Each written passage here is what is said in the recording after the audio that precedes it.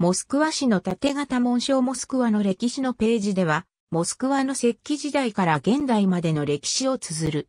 モスクワの領域上で発見された人間の生活を示す最も古い証拠は石器時代のものである。モスクワの文献上の書室は1147年である。当時のモスクワはメリャ語を話したメリャ人が住民の大多数を占めた小さな州の無名な町であった。1156年、ユーリー・ドルゴルーキー公が都市をめぐる木製の壁及び堀を建造した。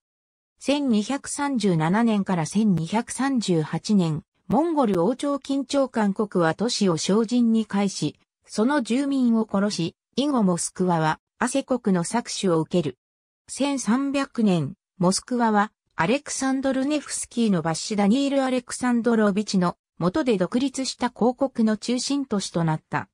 モスクワ側から丘川、ボルガ川に通じる好ましい位置が、その後の安定した拡張に寄与した。モスクワは長年にわたって安定と繁栄を享受し、ロシア中から多くの難民を引きつけた。1304年以降、モスクワ大公ユーリー三世は、ウラジーミル大公の位をめぐりトベリ大公ミハイルと争った。イバン一世は、トベリ大公国がウラジーメルスーズダリ大公国の中心地にして、モンゴル人統治者への唯一の税の上納者となることを最終的に阻止した。緊張韓国の藩ははじめこそ、モスクワの影響力を制限することを試みたが、リトアニア大公国の成長が全ロシアを脅かし始めると、藩はリトアニアとの並行を取るためにモスクワを強化し、このことがモスクワをして、ロシアで最も強力な都市の一つならしめた。1480年には、イヴァン三世が、ウグラカ藩の退治を経て、タタールの首引きから脱し、モスクワは、やがて全ロシア、シベリア、他の多くの国の一部をも包含することになる帝国の中心地となった。モスクワ大火に伴うモスクワ暴動で政敵が失脚し、イヴァン4世が申請を開始。リボニア戦争に橋を発するロシアクリミア戦争で、クリミア反国がモスクワを焼き払った。17世紀のモスクワの繁華街、北イゴロド地区1613年には、全国会議がロマノフ王朝を確立して、ミハイル・ロマノフをロシア皇帝に選出した。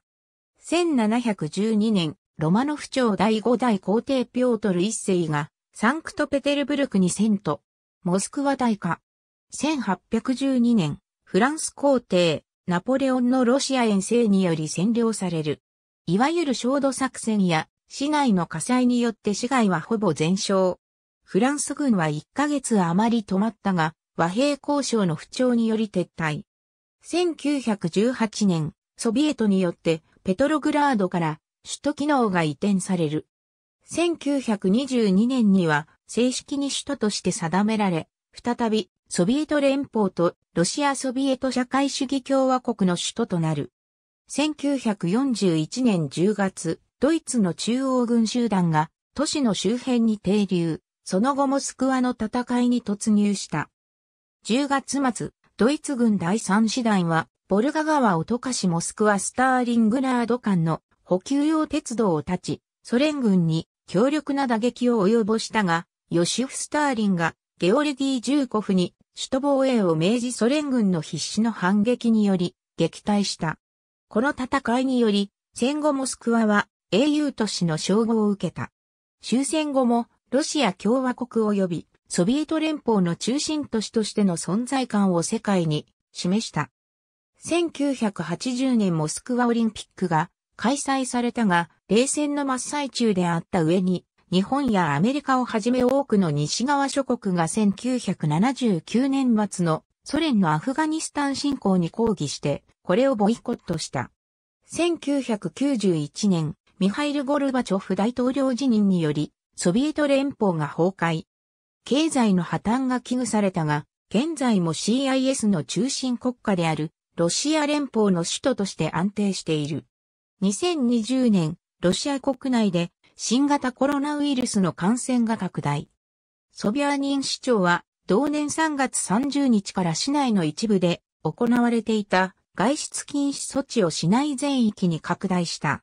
フィン語族の今は消滅している言語、モスクワ全域で外出禁止に新型コロナ感染拡大阻止へ。CNN2020 年3月30日閲覧。ありがとうございます。